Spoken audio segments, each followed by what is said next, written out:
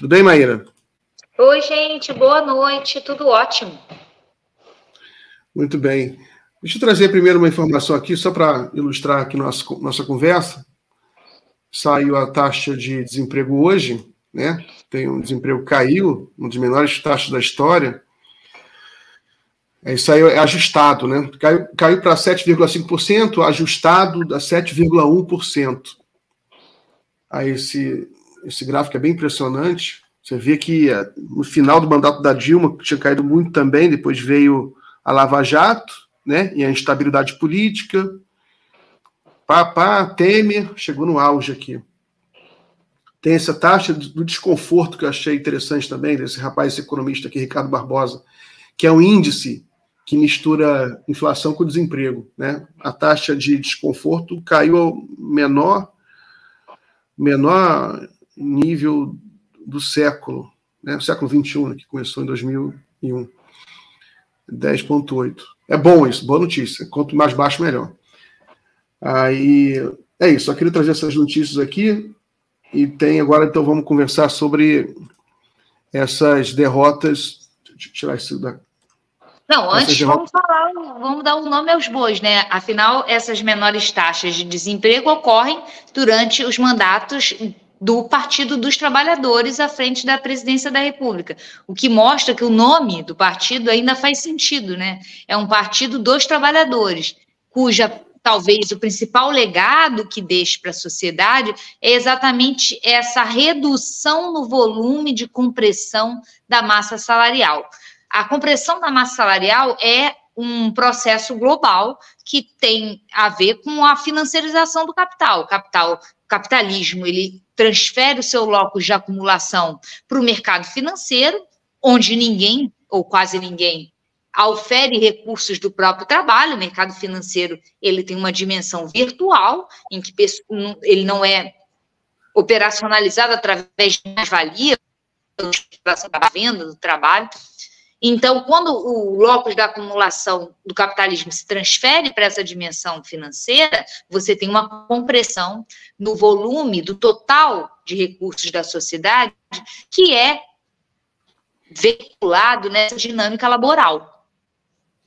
O que é, o partido fez na sua gestão de 13 anos anterior foi diminuir a velocidade dessa compressão assim como parece estar fazendo nessa nova gestão. É isso aí. Maíra, você está usando a internet aí da, do Wi-Fi do local? Estou usando a internet do IFI. É, então, do Wi-Fi. É. E não é melhor a internet será do próprio celular, não? Vamos tentar.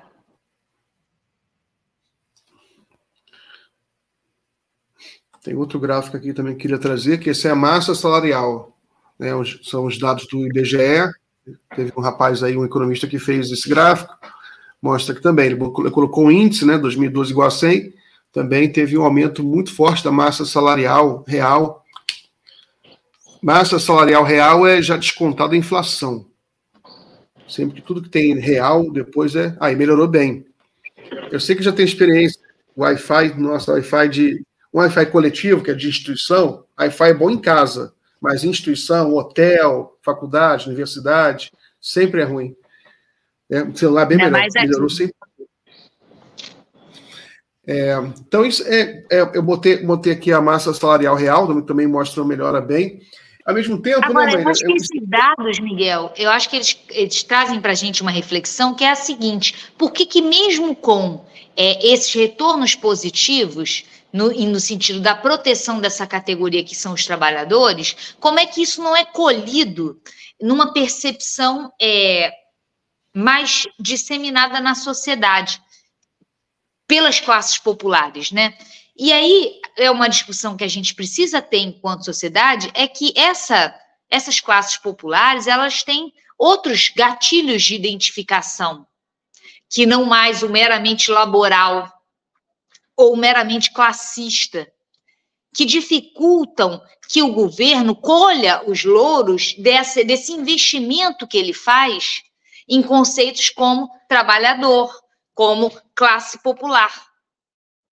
Eu estou falando isso por quê? Porque eu sei que você vai me perguntar sobre as derrotas que o governo teve no Congresso e que são muito apresentadas como uma falha de comunicação, o governo se comunica mal, ou uma falha na articulação, que é a forma como o governo tem respondido a isso, aí reclama do Padilha, critica o Padilha, fala que vai mudar a articulação, mas, gente, a meu ver, não é nenhum problema de comunicação, nenhum problema de articulação. É um problema de.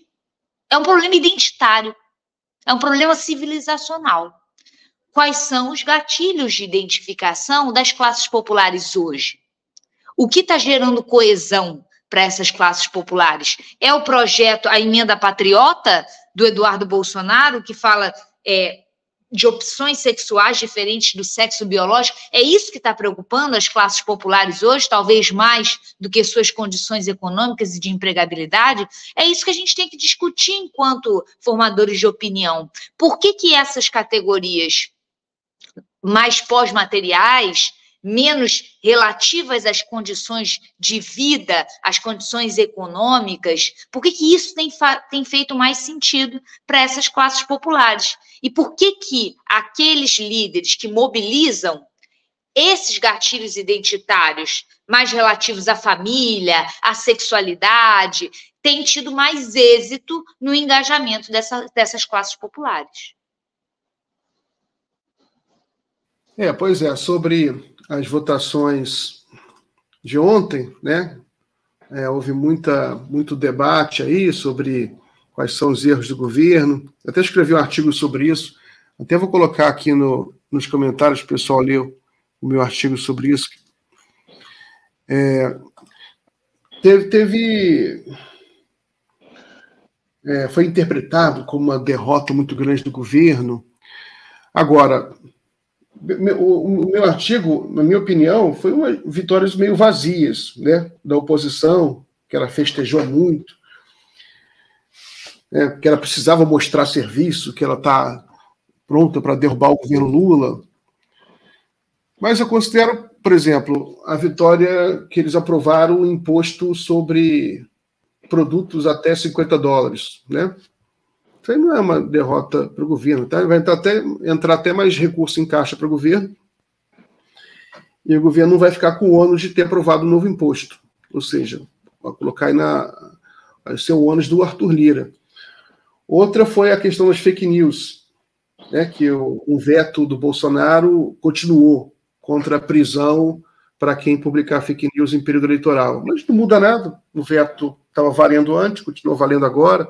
O TSE tem bastante instrumentos para combater fake news, tanto que combateu em 2022, com esse com veto e tudo do Bolsonaro, combateu. Você não pode prender. Pelo que eu entendi, que esse dispositivo permitiria o TSE mandar prender a pessoa. Mas agora, mas pode mandar tirar do ar, pode processar. E, enfim, né? E tem essa questão das pesquisas de aprovação. Eu tenho uma opinião, pesquisa é importante, mas para a população, o importante é economia ir bem, não o governo estar tá com aprovação. Né? E, muito, e tem gente, a, a extrema-direita também fica veiculando um discurso ah, que as pessoas não vão para a rua para defender o presidente Lula. Eu acho isso bem ridículo, porque ninguém, não, não, não, não, existe muito esse, esse, essa cultura de ir para a rua para defender Ninguém vai para a rua para defender o Macron, defender o Biden, o, defender mesmo o Putin, eleito com 80 e tantos por cento, você não vê ninguém indo para a rua para defender o Putin. As pessoas vão para a rua se, se, se, entende que precisa ir para a rua, né? que é a necessidade, se o governo está em perigo, por exemplo, se for um processo de impeachment. Agora, até o, o, o, o Nicolas Feira falou: não, agora vai, vamos, vamos pedir o impeachment. Eu acho isso ridículo, vai ser mais um tiro no pé da oposição, porque se avançar um processo, se eles começarem a movimentar um processo de impeachment, eles vão movimentar a base de apoio do Lula. É, e vão, e não, vão, não vão conseguir, porque não tem base legal para aprovar o impeachment. Eu, eu considero que, a, que, o, conceito, que o, o dispositivo de impeachment está muito desgastado no Brasil. Né? A população está cansada desse tipo de coisa, a instabilidade, e a economia estável como está, você gerar um processo de estabilidade, né? ou seja, destruir emprego, destruir a economia, não, não vejo como isso prosperar. Então eu vejo a minha preocupação só a questão eleitoral agora, nas eleições municipais, né? Então, então a gente pode até passar para. pode até comentar um pouco isso, como é que você vê que está se desenvolvendo, né, as forças estão se organizando. A gente tem pesquisa em São Paulo, né, saiu pesquisa on, esses dias e saiu hoje de novo da Folha de São Paulo, que mostra o Boulos é, à frente, né, a, a, a, Folha mostra o Boulos empatado com o Nunes, até um pontinho à frente. Até tem um gráfico aqui para te mostrar. Aqui, ó. Saiu, saiu hoje, não, isso é rejeição. É, isso aí aqui, o Boulos com 24%, Ricardo Nunes com 23%, Datena com 8%. O Datena é muito engraçado, né? né Maria? O Datena, ele só em alguns meses, eu até, até me cansei já, até me cansei, em alguns meses ele já foi pro, pro estava no PDT, foi para o PSD, agora está no PSDB. A presepada que ele fez para ir para o PSB, eu acompanhei, vi o vídeo, veio gente do PSB do Brasil todo, todos os governadores para o evento, a entrada do Datena no PSB. Agora ele foi para o PSDB. Né? Enfim, está ele aqui na pesquisa. Sobre São Paulo, eu acho interessante marcar a entrada do Pablo Marçal, né? Nessas Sim. pesquisas. Tem pesquisa que está dando ele com 10,4. E aí é, é algo que estava faltando nessa eleição municipal de São Paulo, que é a extrema-direita se apresentando como tal. Porque o Nunes fica nesse em cima do muro. A extrema-direita não é direita tradicional, mas agora com a presença do Pablo Marçal, a gente tem a cara da extrema-direita. E ele começar nas pesquisas já despontando com 10%, eu acho significativo. Se a gente somar é, Nunes mais Marçal mais o Kim, a gente tem uma direita que está sendo muito mais engajada pelo campo extremista, com quase 40% de é, preferências, de intenção de voto. E se a gente soma o bolo, Boulos mais Tabata, que é ambígua, mas ainda está no campo progressista, a gente tem é, com 42%, é, com 40, 45% é, esse campo mais progressista. Então, está bem dividido se a gente juntar a, os candidatos tentando precipitar uma, uma ideia de segundo turno. É, vai ser, vai ser emocionante essa eleição em São Paulo. Estava até comentando Mas antes eu aqui. acho que ela é significativa para a gente pensar a eleição municipal no Brasil, porque ela é muito mais nacionalizada do que são as eleições na maioria dos municípios, né? Tanto que a gente vê que os partidos que mais cresceram nessa janela partidária foi MDB e PSD, PSD do Kassab, que se caracterizam por um certo descolamento dessa dimensão mais ideológica nacionalizante e uma maior autonomia para essas lideranças locais fazerem é, os seus processos de aproximação, para fazer política menos atrelada à verticalização partidária nacional. É, exatamente, vai ser muito polarizada. Agora, é, o Boulos tem chance de ganhar. Vai ser uma eleição difícil, mas o Boulos tem chance, porque é, o Lula ganhou em São Paulo. Né? É uma matemática relativamente simples para você entender as chances do Boulos. O, o, Lula teve mais votos que o Bolsonaro em São Paulo. Né? Imagino que em São Paulo vai ser uma polarização muito, muito determinada pelo voto nacional. Né? Quem votou em Lula vota em Boulos, quem votou em Bolsonaro vota em Nunes. Eu não acredito que o Pablo Marçal tenha, tenha fôlego para chegar. Ele, ele tem esses 10%, ele, ele parece com 10% na, na Atlas e aqui ele está com 7%. Mas ele, ele tem rede social muito grande, é um, um dos maiores coach, coach, coaches do Brasil. Eu já vi, é uma figu, figura. nunca vi um cara contar tanta mentira como esse, como esse Pablo Marçal. Né? Ele é tipo um coach da mentira, ele conta hum, histórias do outro mundo, e ele consegue. Tem gente que gosta dele, mas eu não acredito que ele tenha fôlego para bater o Nunes, que já está com uma campanha organizada, né? Está na fase pré-campanha, mas o Nunes já está fazendo campanha, tem a máquina da prefeitura. O Nunes tem o apoio do Bolsonaro, né? Porque o Pablo Marçal ele está na realidade dividindo o voto bolsonarista, porque ele tem o apoio do, do militante bolsonarista, né? Que ele se tornou um militante bolsonarista nesses ele nesses últimos tempos ele foi mais para esse lado tudo. Mas o, o apoio oficial é, do Bolsonaro vai para o vai pro, pro Nunes. O Bolsonaro vai aparecer na televisão junto com o Nunes. Né? Vai aparecer os filhos do Bolsonaro, o, o, o dinheiro do, é, de campanha, os recursos partidários vão tudo para o Nunes. Então, não acredito que ele vai, vai conseguir. O Nunes, em, em algum momento, vai engolir o Pablo Marçal. Né? Não, mas de todo modo, na, no segundo turno, eles estão juntos, né? A direita sempre está junta no segundo turno. E aí a dúvida é se é, a esquerda vai estar junto também no segundo turno.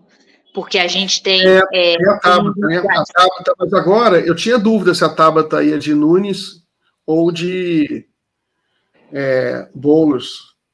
Só que eu acho que, que, em função da polarização muito acentuada, o eleitorado da Tabata vai acabar sendo puxado Parece que ela bolo. votou contra o governo nessa questão da saidinha, né? Que é uma questão bem emblemática. Ela não votou mas, contra, mas, mas contra aí, o governo. A Maria, a Maria votou contra votou a ideia também. de direitos humanos. Votou contra aquilo que junta o campo progressista.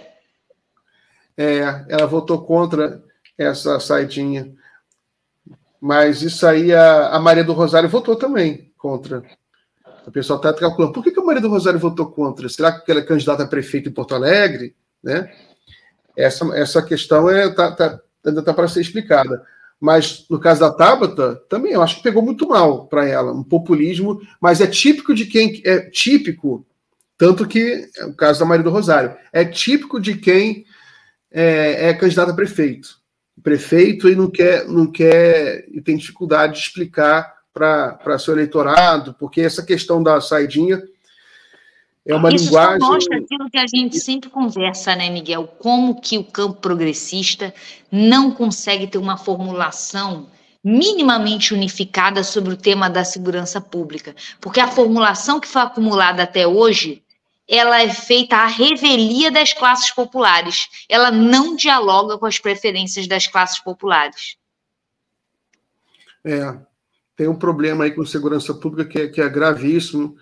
Eu converso aqui com a, de vez em quando com a, com a Jaqueline Muniz, e ela é bem crítica. O governo não ainda não tem um, de fato uma política de segurança pública. O Ministério da, da Justiça e da Segurança Pública o Flávio Dino fez alguma coisa, lançou alguns programas importantes e tudo, mas tem que é, é, é, uma é uma política que tem que ter muito engajamento e mobilização constante do governo. Não é uma questão de lançar um programa, né? E acabou. Não, é uma coisa. Mas sabe por que, que eu acho isso, Miguel? Que isso articula um pouco a questão da segurança pública, mas também essas pautas de direitos civis em relação a, a família, a proteção da família tradicional, a questão é, de gênero, né? Por que, que falta essa percepção do governo que tem que ir para dentro dessas pautas? O governo até agora ele aposta tudo na economia e deixa essas pautas em que ele sabe que não tem maioria social formada é, dentro dessas preferências mais progressistas, né? Pelo contrário, a maioria social que se forma, ela está muito mais é, tocada por uma ideia de família tradicional, por uma ideia punitivista de segurança pública, e o governo, em vez de usar a sua estrutura para fazer essa disputa na sociedade civil, fortalecendo os mecanismos da sociedade civil que engajam processos deliberativos para discutir isso, discutir nas igrejas, discutir nas escolas, discutir nos sindicatos, nas estruturas de formação de opinião. O governo, em vez disso, ele centra todo o canhão dele para melhorar o conforto econômico das pessoas. E aí eu te pergunto: as pessoas estão definindo as suas preferências pela economia? Eu não sei. É, você tem razão. Hoje em dia, é, a maneira como as pessoas veem a política é mais complexa. Não é apenas economia, e a questão da, da segurança pública, a questão da mobilidade urbana. Eu acho que o, que o governo tem que acordar para isso. Eu, eu sou um pouco crítico de, de, da, dessa desse argumento de que o problema é comunicação. Né? Eu sou da área da comunicação. Eu acho que é, comunicação não é isso. As, as, as, pessoas confundem comunicação com propaganda. É, ah, o governo tem que vender mais a sua, a sua, a sua é, o que ele faz, né? Não é bem isso, né? Comunicação é uma coisa mais, uma coisa superior.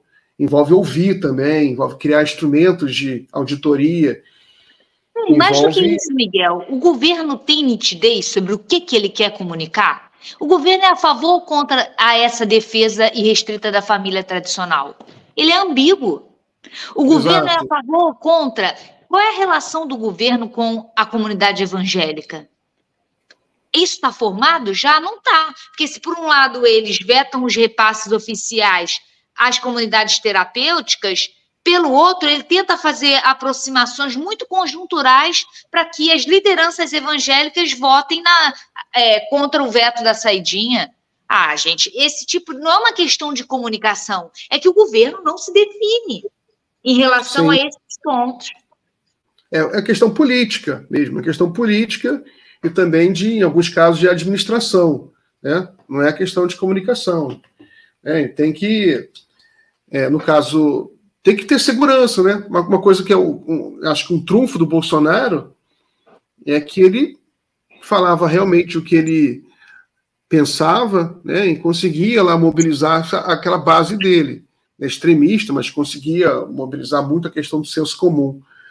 Né? É claro que isso é muito mais fácil para a extrema-direita. Porque o que é a extrema-direita? O que é extrema-direita ou extrema-esquerda? O que, que são essas soluções extremas? Né? São soluções simplificadoras de problemas complexos. O problema é que essas soluções simplificadoras para problemas complexos não funcionam. Elas são descoladas da realidade. Então, eu acho que nisso a extrema-direita e a extrema-esquerda estão à frente do governo porque elas são reducionistas. E o governo precisa, o PT, a esquerda, que tem pretensões de governar, ela lida com questões complexas e precisa dar soluções complexas, porque ela pode, ela se apresenta como alguém que quer resolver de fato os problemas. Mas isso não significa que, em termos por exemplo, de direitos humanos, não tenha que haver uma disputa. Não, é, é, a meu ver, há um diagnóstico equivocado de que se nós disputarmos as preferências sociais no tocante à ideia de direitos humanos, a gente necessariamente vai perder. Eu não acredito que se a gente chegar para a comunidade evangélica e perguntar: você acha que um homossexual tem que sofrer violência? Exato. Eu, é, as coisas têm que ser reformuladas e a disputa tem que ser travada. Exato. É parte do pressuposto que existe um conservadorismo é, popular que muitas vezes é mais um mito do que uma realidade. Tanto que o povo vota no Lula, votou no, votou no PT para a presidência da República. É, quantas vezes? Sei lá, cinco, cinco seis vezes agora, né? São difusas e complexas. As pessoas Sim. são a favor e contra a família tradicional. As pessoas são a favor e contra a ideia de dignidade humana. As pessoas são confusas, complexas, incoerentes. E é nessa incoerência que a gente tem que incidir enquanto campo progressista. Não entender, ah, a pessoa que votou no Bolsonaro, ela é fascista e aí vamos deixá-la para lá. Não, é disputar essas ambiguidades, essas reentrâncias no discurso. É, mas a, a extrema-direita ela tem uma vantagem, porque ela, ela defende bandeiras que, em última instância, são defendidas pelo mainstream. Né? O mainstream ele tem, ele, ele tem uma convergência com a extrema-direita. Com a extrema-esquerda não tem nada, não tem nenhuma coisa. Né? o mainstream ele, ele diverge da extrema-direita em algumas questões de comportamento. O mainstream ocidental, né? O mainstream ocidental ele é liberal, mais liberal, ele é mais liberal nos costumes do que do que a extrema-direita. Mas na questão, por exemplo, por exemplo, o namoro com Milley, com Javier, com Javier Milley, o namoro do mainstream com Javier Milley, né? Está afundando a economia argentina. Os dados agora de abril, mais de 30% de queda da produção industrial, uma, uma, uma queda violentíssima no PIB. Né? Não, mesmo assim, não está tudo bem, está fazendo um bom governo. Quais, quais são os dados para você medir um governo? Né? O Lula, Olha, igual essa questão das mídias digitais. Quando as pessoas, eu estudo bolsonarismo, e as primeiras leituras sobre bolsonarismo, sobre a emergência do Bolsonaro, era assim: ah, ele sabe usar as redes, a extrema-direita sabe usar as redes. Tudo bem, há uma certa, há, há, uma expertise aí que a gente precisa aprender e dialogar mais com eles para entender. Mas, por outro lado, é muito mais fácil você emitir uma mensagem, difundir uma mensagem, quando ela é mais convergente com o interesse dos donos das plataformas. Eles Sim. vão estar muito mais imbuídos é, mais é, tentados a fazer disseminar a sua mensagem do que uma mensagem que fala, por exemplo, acerca dos direitos dos trabalhadores, dos direitos dos marginalizados. Isso não está vendendo camiseta, né? O que vende camiseta é. são outras coisas. Ser de esquerda nunca foi fácil, né? Isso já tem alguns, alguns séculos. Maíra, então chegamos ao, ao fim do nosso nossa conversa, sempre bom conversar contigo, então até a próxima. Beijo. Valeu, gente. Boa noite, um prazer. Tchau, tchau.